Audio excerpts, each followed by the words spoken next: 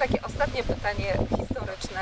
E, Czy ma Pan jakąś taką osobę albo historyjkę taką na zakończenie, albo wzorzec jakiś taki rodowy przekazywany z pokolenia na pokolenie?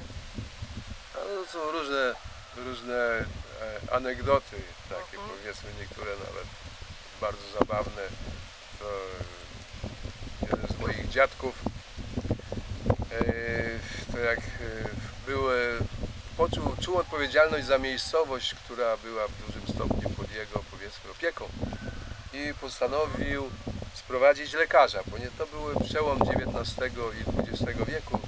Tam uważał, że warunki zdrowotne ludności nie są wystarczające, postanowił sprowadzić lekarza, a ponieważ e, był tak e, bardzo głęboko chciał realizować w swoim życiu sprawy związane z patriotyzmem, z niepodległością, że właściwie wszystkie pieniądze, jakie miał, to wydawał na sprawy społeczne i sam się ubierał e, bardzo e, skromnie, bardzo po prostu minimalnie tak, jak to musiał, żeby wyglądać przyzwoicie.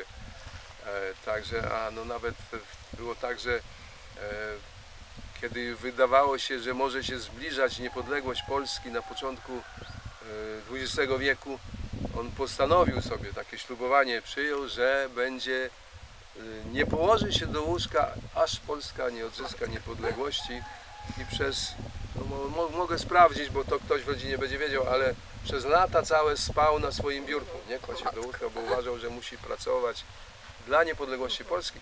Zresztą coś musiał zrobić, bo potem przyjechał go odwiedzić Piłsudski, po, kiedy Polska odzyskała niepodległość. Ale oczywiście, tak jak właściwie w całej rodzinie, wszyscy z ogromnym dystansem pochodzą, podchodzą do tych e, tytułów, nazwisk, które właściwie miały pewne znaczenie przed wiekami gdzieś tam z czegoś, jakichś działań dalekich przodków wynikały. Ale ten właśnie dziadek, który załatwił, postarał się, żeby lekarz na stałe w tej miejscowości zamieszkał, tak się złożyło, że przyjechał pociągiem do tej swojej miejscowości, tym samym pociągiem, którym przyjechał ten lekarz. zamówiony lekarz. E, No i dziadek zmęczony e, usiadł na rowie, wyszedł ze stacji, tam było parę kilometrów do miejscowości, do której musiał, e, do, tam gdzie mieszkał i odpoczywał. I w tym momencie wyszedł z, z pociągu również ten zamówiony lekarz do tego.